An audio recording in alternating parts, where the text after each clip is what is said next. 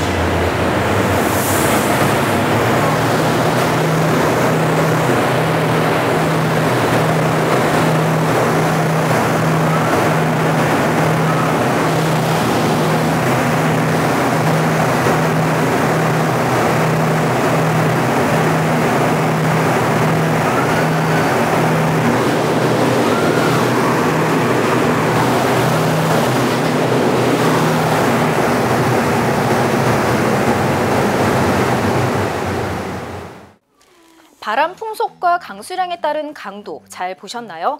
사실 재난 대비 요령은 영상이나 책으로는 많이 접해봤지만 막상 상황이 닥쳤을 때는 제대로 대처하지 못하게 됩니다.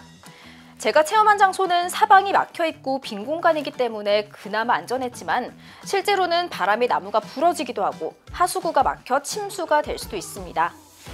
또 사람이 날아가거나 간판 등 날아다니는 물건에 맞아 크게 부상을 입을 수도 있습니다. 태풍이 온다면 최대한 안전한 곳에 머무르시면서 상황을 지켜보는 것이 가장 안전한 대비 방법입니다. 여러분도 태풍 대비 영상과 태풍 체험 영상 보시면서 꼭 태풍 대비법 숙지해 두시고요. 태풍이 와도 당황하지 않고 올바르게 대처하시면서 꼭 안전사고에 주의하시기 바랍니다.